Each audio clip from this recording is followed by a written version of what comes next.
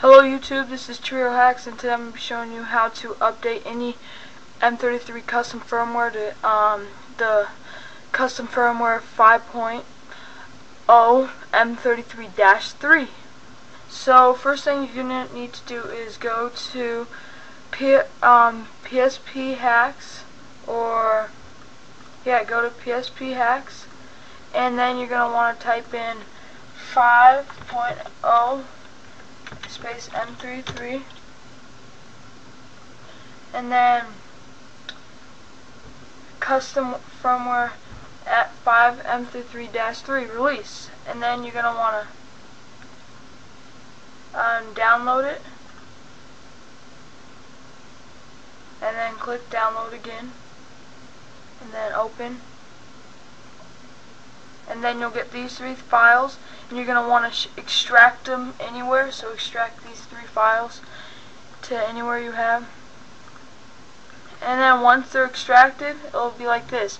Then you're going to want to also download um, the uh, original Sony firmware Sony firmware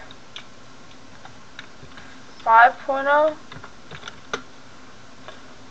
and then so click on uh,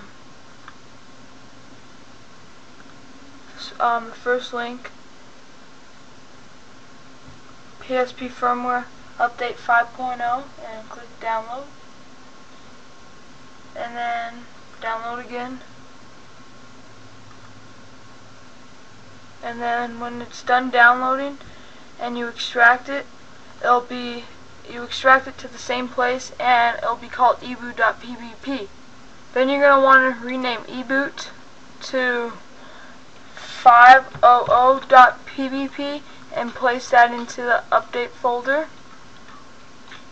Then and then once you put that in the update folder, you're going to want to connect your PSP to the computer, open folder to view, and then go to PSP game and copy the update folder into the PSP game folder.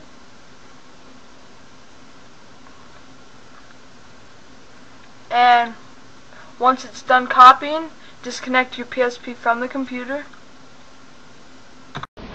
Once you exit out of your PSP from the computer, you're going to want to go over to the game and then go all the way down to memory stick and then you're going to look for a file called PSP Update version 5.00. Click on that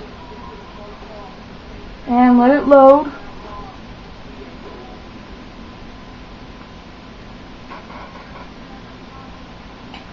And it's going to say unpacking. Now, please wait.